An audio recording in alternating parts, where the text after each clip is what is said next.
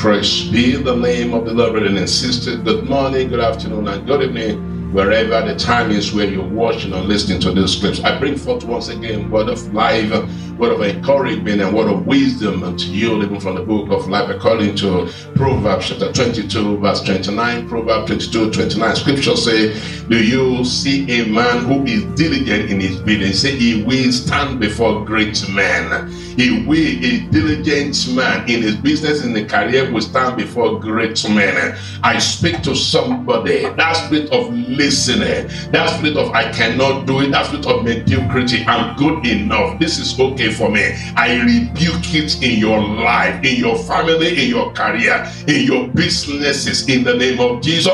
The spirit that is looking for somebody to come and be everything for you. I come against that spirit in your life in Jesus' name. Look at what happened to Saul, the first king over the nation of Israel. According to First Samuel chapter 9 from verse 3 to 18. Bible say, and Saul's father sheep got lost, and his father said unto him, Saul, go with my servant and go and look for my own sheep that got missing without knowing that God was setting him up even for his own encounter. I pray for you where you think you have become a non-entity, where you think nothing that is good that is coming your way, where you think you have been retarded, where you think you have been abandoned, the position you are, you think you are better off. I pray as you become diligent in that place where you are, in that offices where you are, in that career where you are, in that business that you are doing, as you become diligent, the Lord will reward you in the name of Jesus Christ of Nazareth. I pray for event that will connect you to your prophet because Saul needed a prophet. He didn't know that he was going to pursue his own career and his own life, but he was going on an errand for his father. I don't know the errand that people have pushed you to. I don't know the one you are voluntarily doing. I don't know where you find yourself. I don't know in that office where, where you think your services is no more appreciated. I say God will set you up for promotion. God will set you up for a word of knowledge from a prophet that will translate into word distribution into your life in the name of Jesus. I